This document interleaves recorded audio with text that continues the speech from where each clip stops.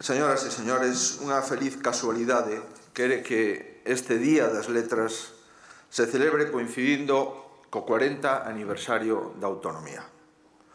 A democracia galega, a Galicia democrática, nace hai catro décadas repleta de intencións reformadoras que en moitos casos se cumpriron e en outros se iniciaron. Neste día destacamos os logros que trouxo consigo o autogoberno en todo o que atinxe o benestar material do noso país. Calquera comparación que poidamos facer entre a Galicia dos 80 e a Galicia dos nosos días, en calquera sector ou actividade, ofrece un balance que permite falar de, dunha milagre cuxa autoría corresponde ao povo de Galicia. Sen embargo, esa distancia abrumadora entre o pasado e o presente faise case inconmensurable. Se pasamos do desenvolvemento material o que poderíamos chamar desenvolvemento espiritual, para englobar todo aquelo relacionado cos sentimentos máis fondos da nosa xente. Os galegos recuperamos a fe en nós mesmos. A autonomía permitiu que nos recoñecéramos como un pobo forte, unido e capaz dos grandes retos. Ese espertar, tantas veces invocado no himno, faise realidade reflíctese nun país grato que avanza en liberdades, en obrigas e en benestar. Neste resurdimento a lingua é o gran catalizador.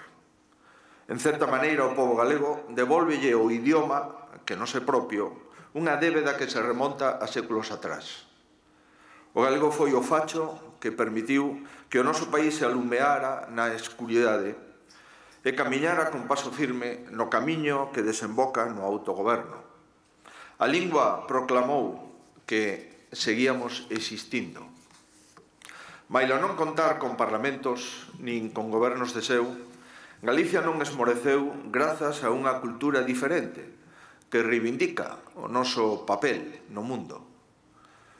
Nunha data como a de hoxe, podemos pensar nos galegos que viviron no 17 de maio de 1863 a publicación aquí en Vigo de Cantares Galegos de Rosalía de Castro.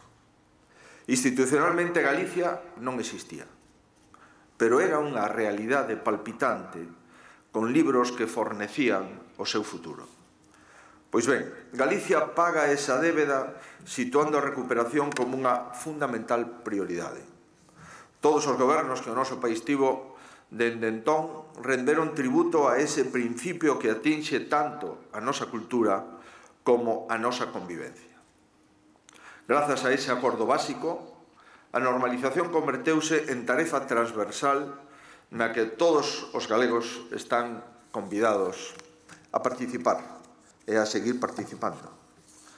O povo galego acerta cando decide facer do idioma unha ponte e non un balado. Un punto de encontro e non unha disyuntiva. Teño para min que a convivencia estreita entre galegos débelle moito a pertenza a unha cultura común que congrega e non separa. Mantela, impulsala, despregala en todas as súas enerxías é un deber e na miña opinión, tamén é un dereito. Señoras e señores, estamos en Vigo, no barrio do Calvario, no Instituto Castelao, onde estudou, como ten se dito, Xela. Aquí danse cita a tres mulleres que contribuíron moito a ser como somos. Tres traballadores da palabra. Está Rosalía de Castro, que motiva a festa do 17 de maio.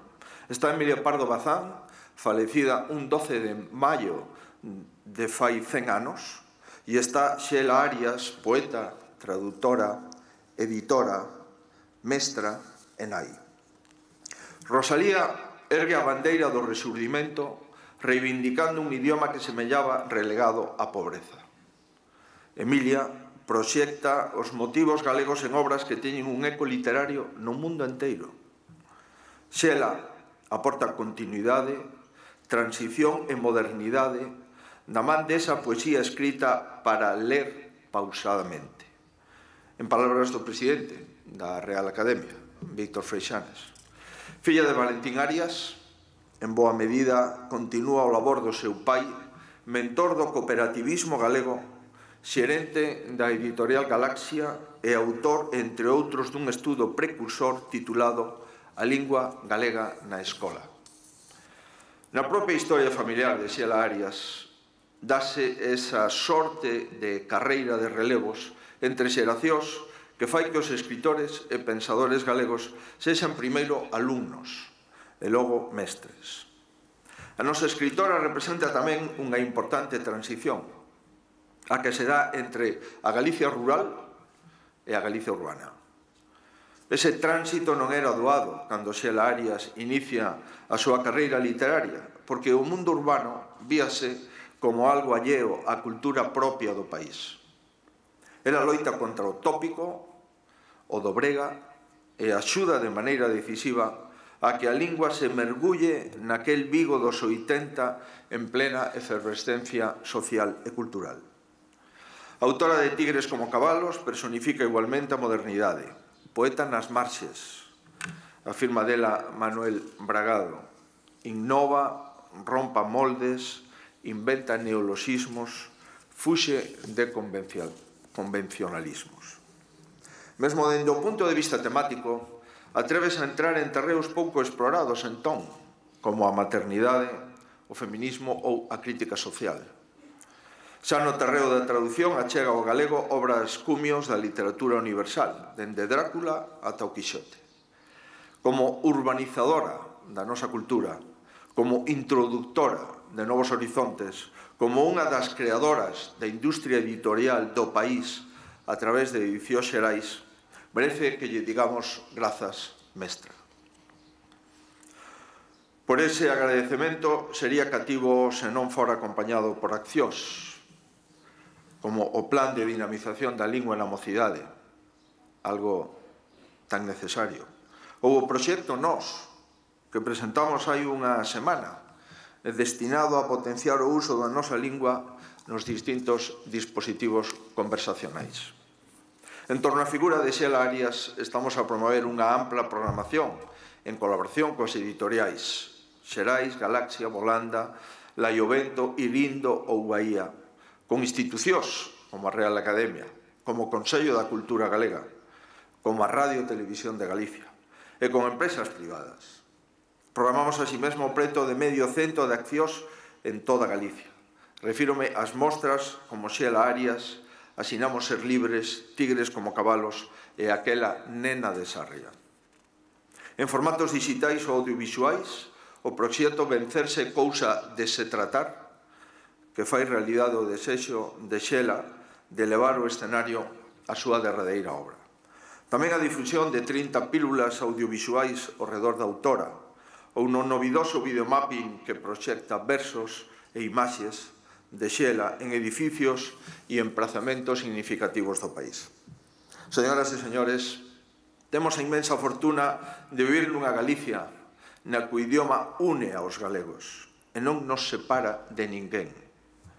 Nin Rosalía de Castro, nin Emilia Pardo Bazán, nin siquera Xelia Arias, cando iniciou a súa andaina literaria, puderon imaginar un resurdimento como que hoxe experimentamos, e no que quedan moitísimas metas por acadar. Que o que queda por facer non nos impida sentirnos satisfeitos do logrado entre todos. Grazas a todos. Parabéns a banda da Loba, por estos poemas traducidos a cancións e a coral Casablanca, efectivamente a máis laureada de Galicia. E grazas sobre todo a esa mestra que hoxe aquí en Vigo, vanguarda da industria e da cultura, aplaudimos, e dende aquí para toda Galicia. Muchísimas gracias ao seu fillo por dar testemunha do compromiso da súa nai. Muchísimas gracias ao pai por coa nai traer este fillo E moitísimas gracias a Amparo, que dela mamou a cultura e o compromiso co idioma e con Galicia, porque as nais sempre teñen unha determinadísima influencia nos fillos que amamantan e crían.